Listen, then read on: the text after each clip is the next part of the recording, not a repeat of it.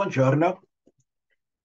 La parasha di questa settimana, Re'e, parla di tzedakah, spesso tradotto come carità. Cito.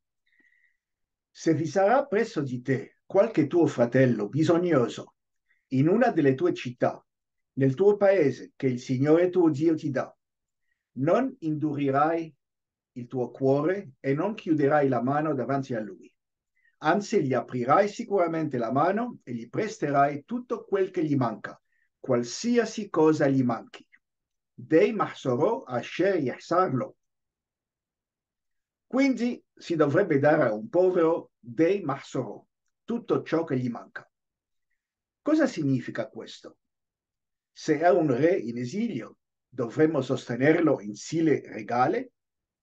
E se a noi stessi mancasse ciò a cui siamo abituati, c'è forse un limite superiore per la carità? Se è così, che cos'è? Rivediamo le regole ebraiche della carità, come esposte nel Talmud, prima di provare a rispondere a queste domande. In primo luogo, ogni ebreo è obbligato a dare la carità, anche uno che dipende lui, lui stesso dalla carità. Dopotutto si può sempre trovare qualcuno che sta peggio di noi la norma è circa il 10% del reddito netto dopo le tasse.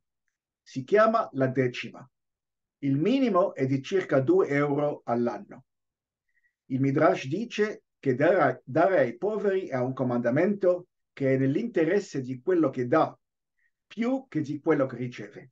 Cito, il rabbino Yehoshua insegnava il povero fa di più per il padrone di casa di quanto il padrone di casa faccia per il povero. C'è una leggenda che afferma che il profeta Elia a volte appare a un uomo morente sotto le spoglie di un povero in cerca di carità, per dargli un'ultima possibilità di osservare la mitzvah.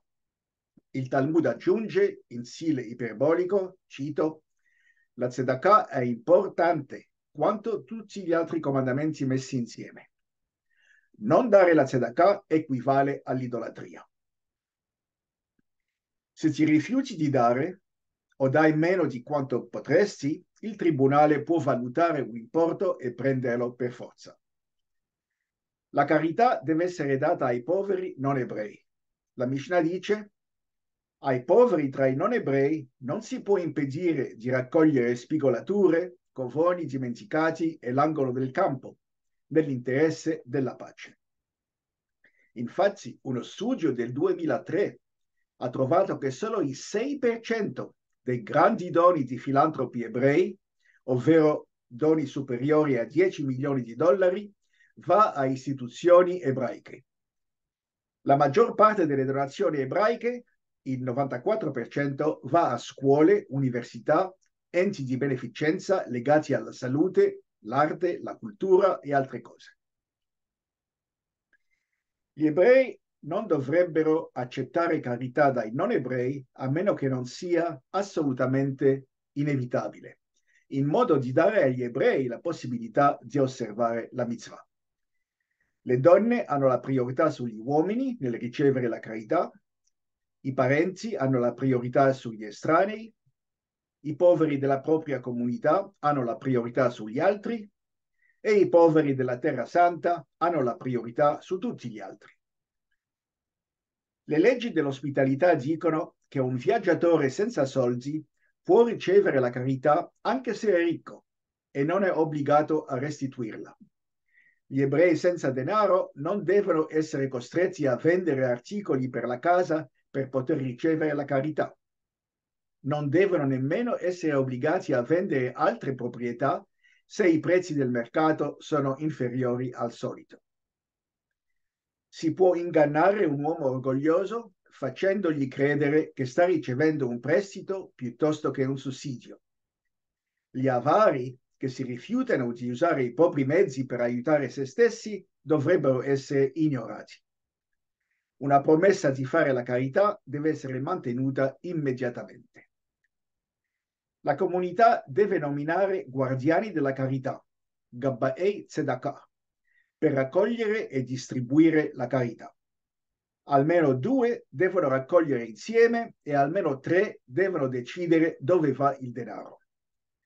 Decidono chi tra i poveri ha il più bisogno di carità e i poveri si registrano con loro.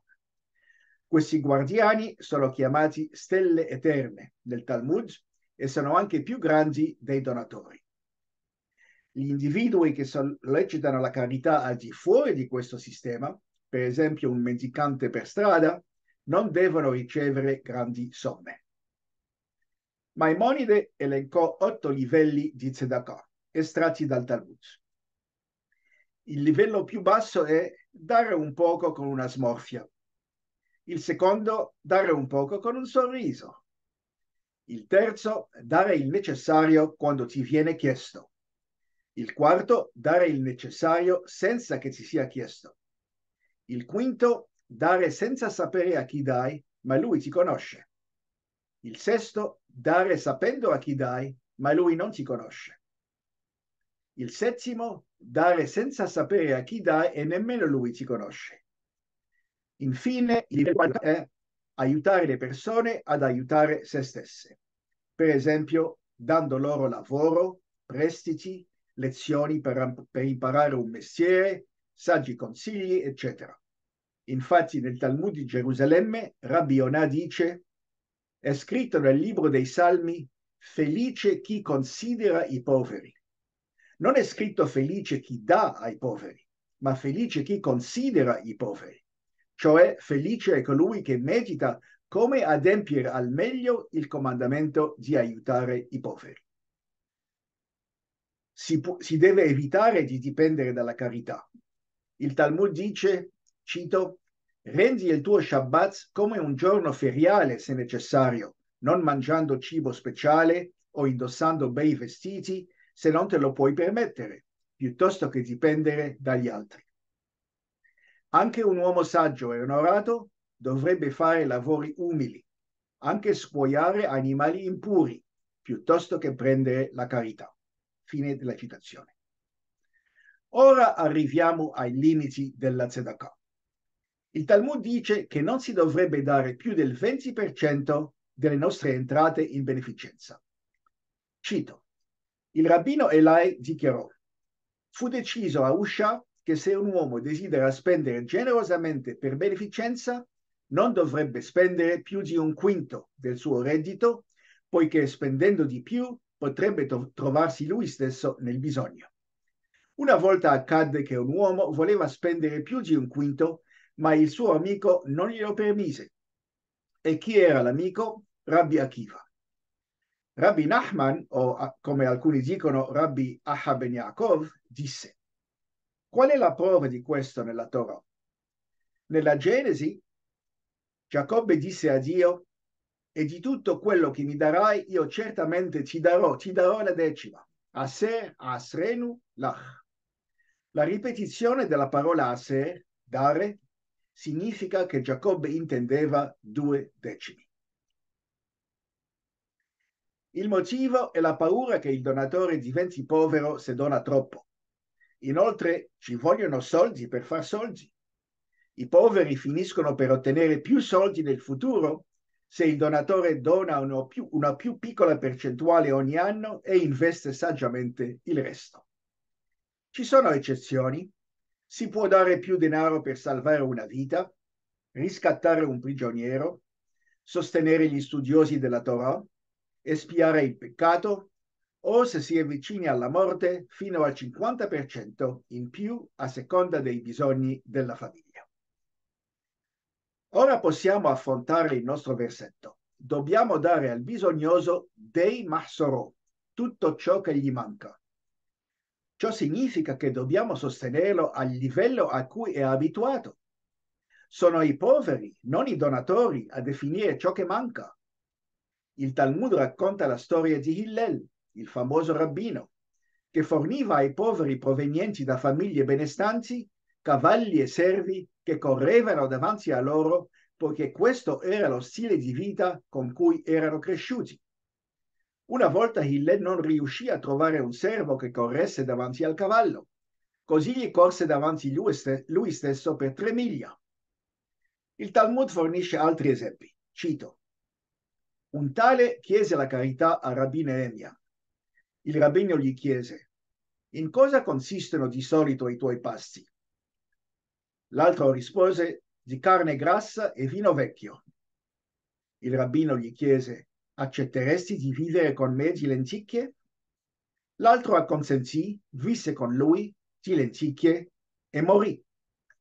Il rabbino disse, ahimè per quest'uomo che Neemia ha ucciso. Al contrario, avrebbe dovuto dire ahimè per Neemia che ha ucciso quest'uomo. Tuttavia, l'uomo stesso era da biasimare perché non avrebbe dovuto indulgere in abitudini lussuose a tal punto. Un povero chiese la chiarità a Rava. Il rabbino gli chiese, in cosa consistono di solito i tuoi pasti? L'altro rispose, di pollo grasso e vino vecchio. Il rabbino gli chiese, non hai considerato che farti la carità sarebbe un fardello per la comunità? L'altro rispose, mangio forse quel che è loro, mangio il cibo del misericordioso Signore. Rava gli disse, vieni a mangiare. Tutto ciò presuppone ovviamente che la comunità possa permetterselo, cioè che la comunità sia in grado di mantenersi se stessa al livello a cui è abituata prima di offrire alle persone bisognose assistenza al di là delle necessità di base. Lo Shulchan Aruch, il codice della legge ebraica, riassume, cito, quanto dovrebbe essere dato ai poveri? Dei mahsoro asher yahsarlo, tutto ciò che gli manca. Cosa significa? Se sta morendo di fame, dagli da mangiare. Se ha bisogno di vestiti, vestilo. Se hai bisogno di oggetti per, sua, per la sua casa, compragli quegli oggetti. Se era abituato a cavalcare con un servo che gli soccorreva davanti mentre era ricco e ora è povero, compragli il cavallo e il servo, ciascuno secondo i suoi bisogni. Se era abituato a ricevere il pane, dagli il pane. Se era abituato a ricevere la pasta, dagli la pasta. Se era abituato ad avere un letto, dagli un letto una persona degna di ricevere pane caldo dovrebbe continuare a ricevere pane caldo. Se pane freddo, pane freddo. Se gli è stato dato da mangiare in bocca, dagli da mangiare in bocca. Se è venuto per sposarsi, affittagli una casa, preparagli un letto e gli utensili di casa e trovagli una moglie. Può sembrare ingiusto dover sostenere persone bisognose a un livello superiore al nostro, ma ripensandoci forse no.